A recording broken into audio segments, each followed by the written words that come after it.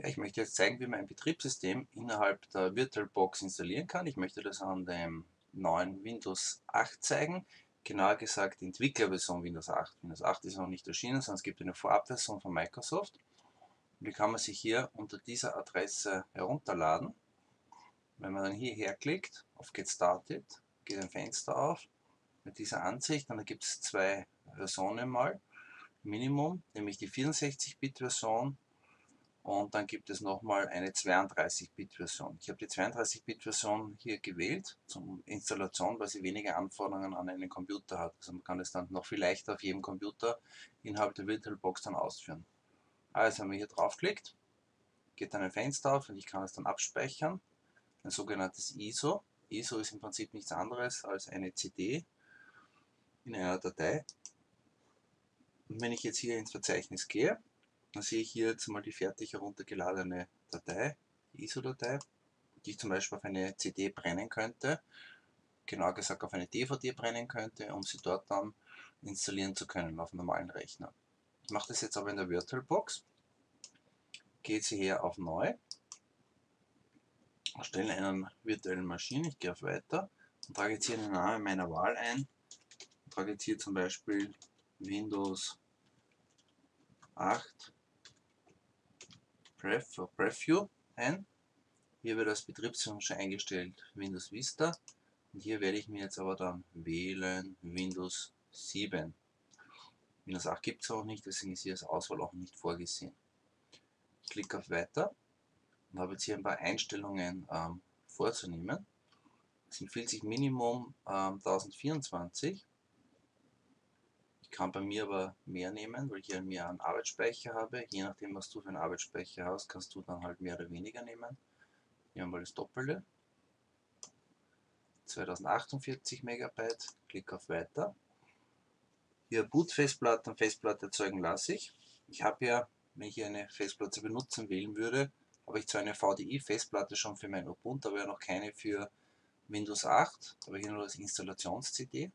Klick auf Weiter habe hier mehrere Dateitypen zur Auswahl. Ich lasse aber hier die VirtualBox eigene, den eigenen Dateityp VDI. Klicke auf Weiter und wähle hier jetzt zum Beispiel feste Größe. Und habe jetzt hier die Möglichkeit, eine virtuelle Festplatte von der Größe her festzulegen. Stelle ich dann bei mir 30 ein, klicke auf Weiter und auf Erzeugen. Und dann je nach Geschwindigkeit des Computers brauchst du länger oder weniger lang bis das Ganze dann, bis der virtuelle Maschine dann angelegt ist. Nachdem das jetzt erzeugt wurde, kann man hier auf Fertig erzeugen klicken und schon erscheint hier Windows 8 Breath. Jetzt geht es darum, für diese virtuelle Maschine die richtigen Einstellungen vorzunehmen. Ich klicke auf Ändern, gehe das einmal ein bisschen durch und werde hier zum Beispiel EU APIC aktivieren auswählen.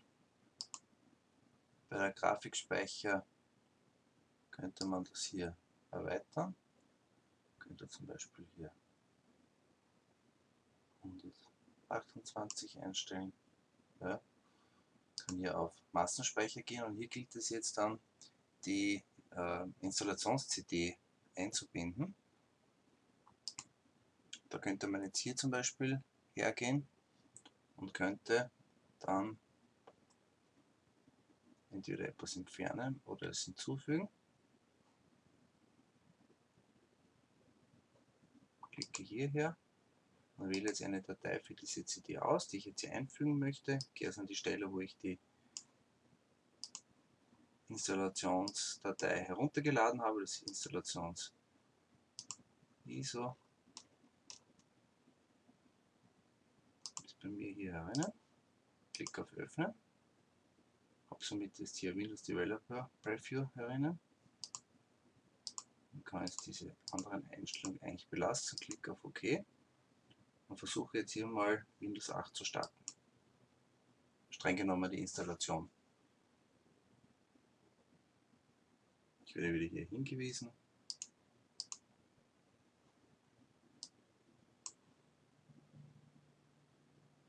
Wenn wir gleich sehen, ob der Installationsprozess dann auch tatsächlich startet. Man sieht, es tut sich hier etwas.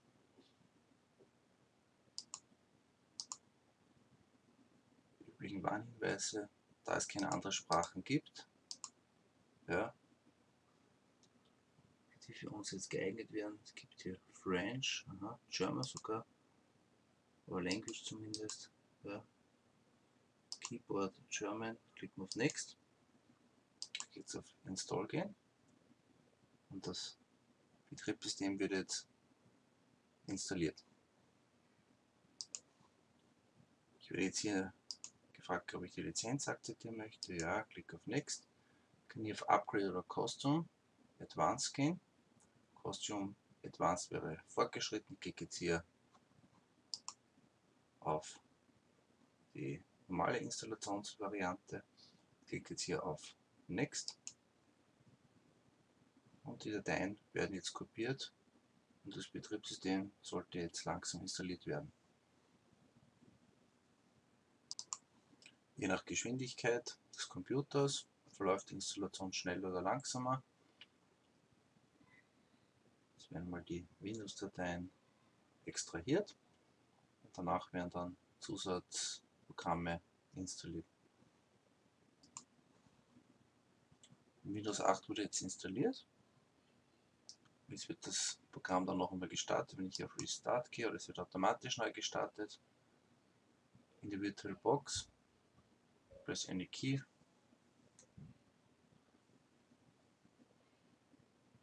Und Windows 8 wird jetzt gestartet.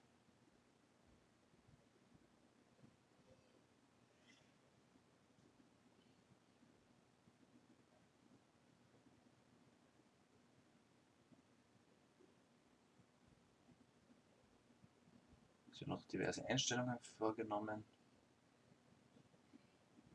sind schon preparing, es kann also wahrscheinlich nicht mehr so lange dauern.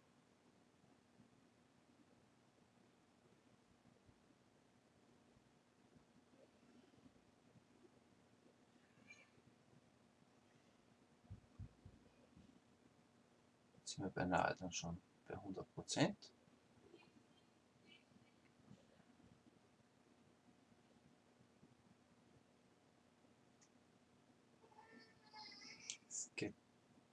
Operating system ready.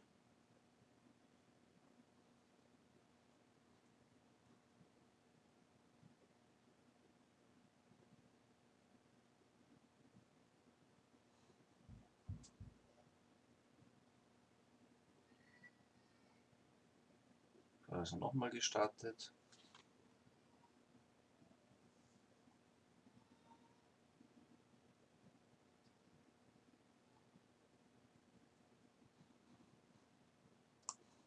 Sind wir hier und können uns hier einen Namen für unseren Computer aussuchen.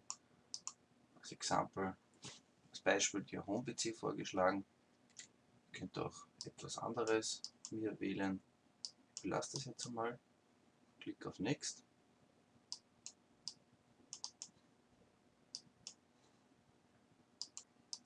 Ich habe jetzt Windows 8 genannt, klicke auf Next, nehme hier Use Express Settings E-Mail-Adresse möchte ich jetzt keine eingeben.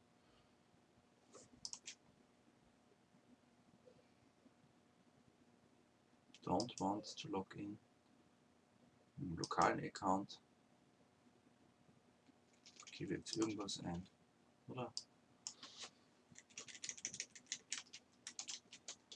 Markus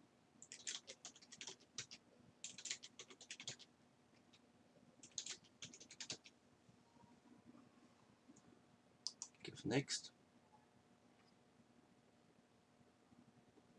Wir sind jetzt hoffentlich so weit, dass wir in Windows 8 dann drinnen landen.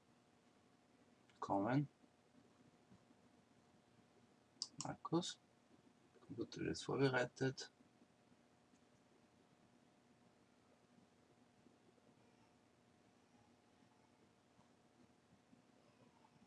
Das kann also eine gewisse Zeit dauern.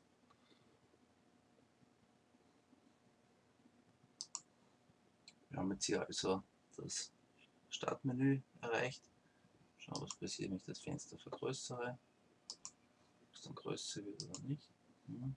Funktioniert noch nicht, weil äh, die VirtualBox nicht ganz ausgerichtet ist auf, die, auf Windows 7.